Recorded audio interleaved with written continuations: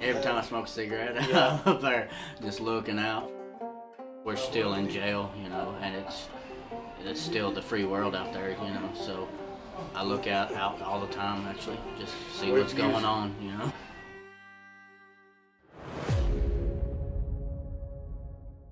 I've been in here for what, six months this time, so it don't seem like that long to some people, but in jail, that's a long time, you know.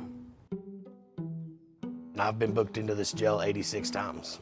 You've been booked into this jail 86 times? Mm-hmm. The majority of them were violations, though. Violation of probation, violation of probation, you know. I hear you, but It's still Six 86 times. Yeah. I think I, I, I've probably got it in the low 40s, maybe. That part's normal for Cocke County? Yeah. Well, I mean, Glenn, yeah. Glenn, how many times you been booked in this jail? Over a hundred? What? Over a hundred? The la- last year, how many assault charges did you catch? I don't know. I've caught 40 this year. it's very hard not to fight. I'm probably the most violent inmate in this jail. I've calmed down a lot.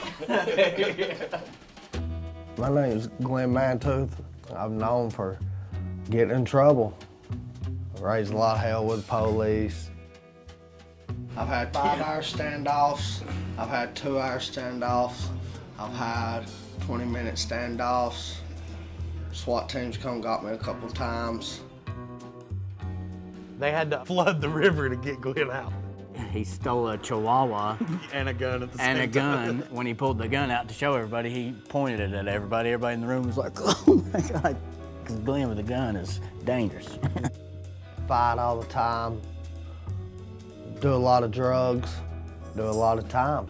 Other than that, just raised a lot of cane.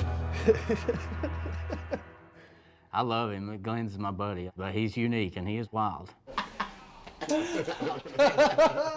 Why are you so crazy? That's all I've ever known is violence. I've been locked up. February 25th will click 21 calendar years. Been out a year and six months since I've been 18. I like it on the streets. It's just, it's hard not to beat somebody up or act out or be getting high.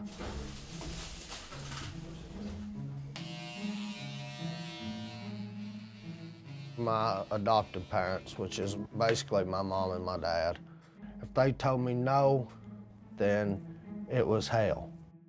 I'd throw stuff at them, chase them around the house, torture next door neighbors. I was reckless, didn't care about nothing, skipped school, got kicked down Cocke County High, Morristown East, Morristown West for fighting. I started off drinking smoking weed at an early age. And when I met the meth, it was on. I'm likable, you know, but on the drugs and the alcohol, I'm very dangerous. You know, very dangerous. My adoptive parents, they kept a 38 stub nose loaded. Glenn, you a racist? I was growing up. A lot of my friends is in Aryan Nation, but my sister, she got little mixed kids. And you know, I didn't figure that they needed to see me that way growing up. I took my three minute beat out and rolled on. Me get this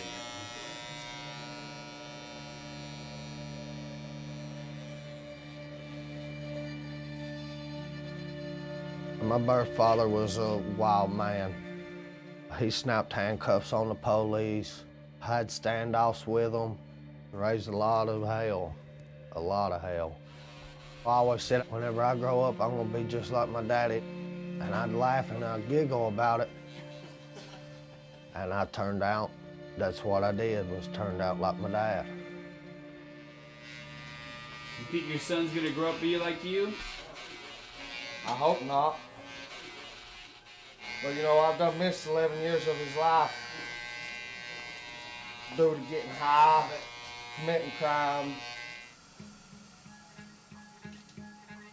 My son J Rod, he lives with my adoptive parents. He's just starting to hit his violent age to where, like I was.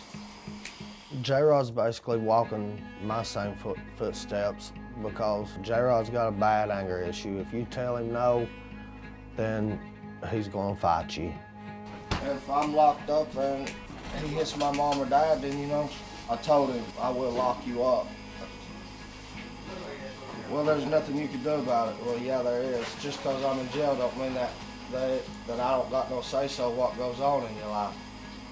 What you're saying is what a loving father would say.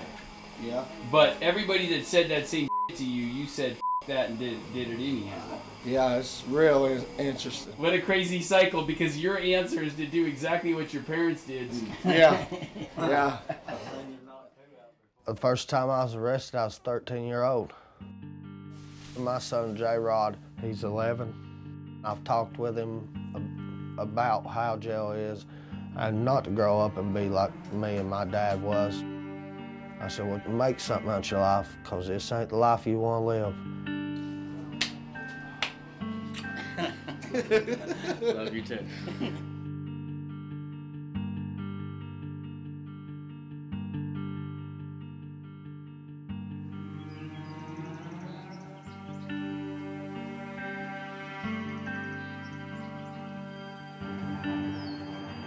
We adopted Glenn when he was around four year old.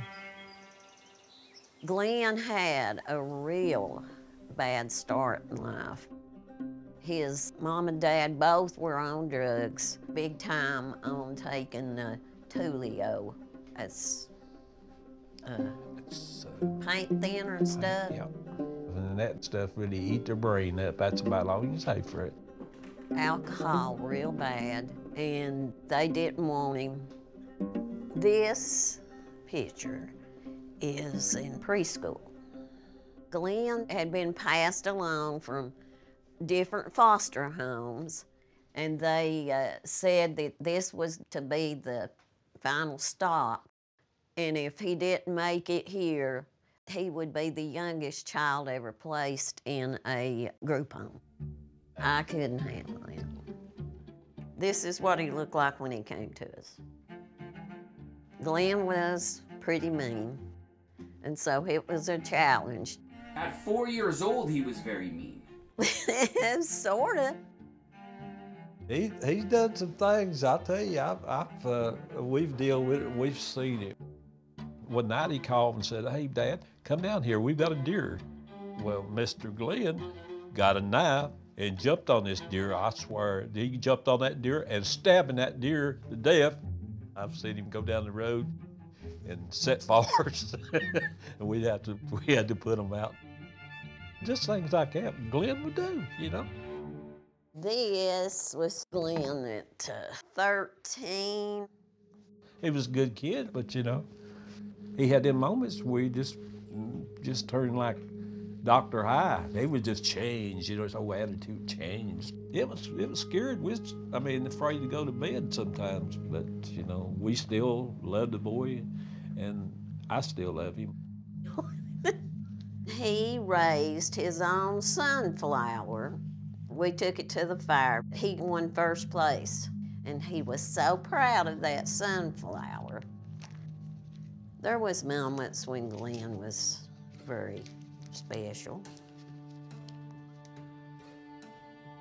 I always wanted to prove if you take a little child from a circumstance like that, you could do it good and you'd pet it and you'd love it and give it all these necessary things it needed, and they would grow up to be perfect kids.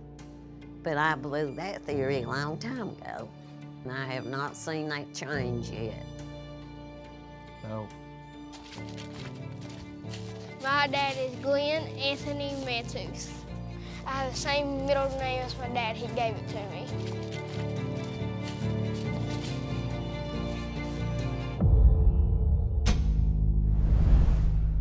Coming back into the cell with the Barrett brothers, I mean, I've heard of people and known people with rap sheets, but these numbers are astounding. And as you're being just dumbfounded with how many times they've been incarcerated, they randomly just called it, hey, Glenn, come on in. This guy, I didn't know we were to focus on him. This guy walks in calling himself the most dangerous criminal, talking about, you know, robbing people, beating people. It's just a way of life. He doesn't know. It's just the way it is, right? Getting his hair cut, seeing that he's got a, you know, white pride symbol on him. Like this guy's also in a black street gang at the same time. Like, go figure, like, how does that happen?